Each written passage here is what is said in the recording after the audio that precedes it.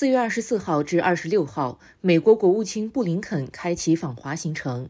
四月二十六号晚，外交部北美大洋洲司司长杨涛就美国国务卿布林肯访华向媒体吹风。杨涛表示，战略认知，也就是中美究竟是要做伙伴还是做对手，是中美关系的根子问题，也是双方每次都要谈的议题，这次也不例外。中方强调，中国是一个有着五千年历史的东方文明。是一个十四亿多人口迈向现代化的大国，是一个坚持走和平发展道路的社会主义国家。大国争霸逻辑、冷战零和思维都不是中国的 DNA，也不是中国的行为方式。中方乐见一个自信、开放、繁荣发展的美国，同时希望美国也能积极正面看待中国的发展。第一颗纽扣扣好了，中美关系才会真正稳下来、好起来、向前走。如果美国总是把中国当作最主要对手，中美关系就只会麻烦不断，问题丛生。在回答记者提问时，针对所谓中国产能过剩问题，杨涛说：“美方所谓产能过剩，不是市场定义下的结论，而是人为制造的虚假叙事，是美国搞保护主义、打压中国发展的又一例证。中国在新能源汽车、锂电池、光伏产品等领域有优势。”这不是中国政府补贴的产物，而是全球市场需求、技术创新、充分竞争的结果。中国优质新能源产品为各国加快绿色转型、应对气候变化、缓解通胀压力做出了重要贡献。恐怕过剩的不是中国的产能，而是美国的焦虑。如果说到非市场行为和不公平竞争，大家倒可以看一看，美方这两年出台的芯片与科学法、消长通胀法，不仅对。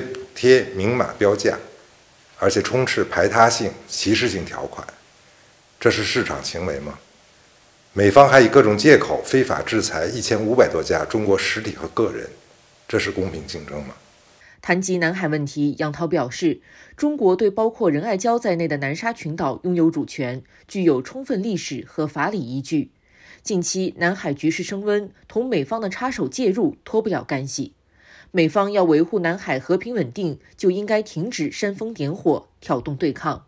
中方始终遵守包括联合国海洋法公约在内的国际法，任何国家不能妄图以非法裁决挑战中国的合法权益。造成仁爱礁当前局势的原因一清二楚：菲律宾先是违背承诺，拒不拖走非法坐滩军舰长达二十五年，其后又一再违背同中方达成的君子协定内部谅解。肆意侵权挑衅，企图大规模维修加固，以实现仁爱礁的永久占领。菲方做法严重违反中国同东盟国家达成的南海各方行为宣言第五条规定。近期南海局势升温，同美方的插手介入脱不了干系。美方动辄以美菲共同防御条约相威胁，严重违反联合国宪章宗旨和原则，严重危害地区和平稳定。美方要维护南海和平稳定。就应该停止煽风点火、挑动对抗。中方捍卫自身主权和领土完整的决心坚定不移。此外，杨涛还就涉港、涉疆、涉藏人权问题、乌克兰问题等作出回应。人民日报、新华社、中央广播电视总台、中国日报、中国新闻社、中国国际电视台、环球时报、澎湃新闻等媒体参加吹风会。